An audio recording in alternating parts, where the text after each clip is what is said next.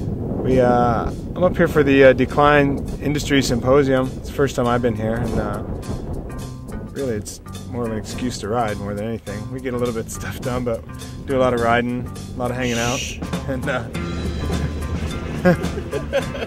had a good time. all kinds of work done. Yeah, I'm sorry. We got all kinds of work done. We try to get here as often as possible, but especially here here in Whistler, um, we can't get the kind of vertical on a bike pretty much any place else in the world that we can get here. And, and so, like when we do develop a new downhill bike or a new free ride bike, this is the spot that we come. Um, so I've got the Pinner, which is the new uh, seven and seven bike.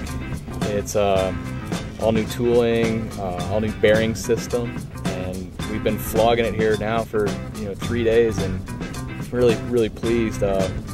These are the first production ones. We've had prototype ones that we've you know been beating on since December, uh, so we've got you know six months on them so far, and really happy. I think everybody's going to be pleased with how these come out. Mostly, we're uh, we're riding the uh, the 2009 uh, Boot'R right now, and uh, giving that thing a shakedown and uh, seeing how that thing rides. I'm riding a I'm actually riding a bone stock one right out of the box. Um, you know, even down to flat pedals, which normally I don't ride. So, just trying to get a uh, feeling of what a consumer would feel if they were to purchase the bike and um, take it out here in the park or on their local trail and ride. So, uh, really giving the bikes the, uh, the shakedown.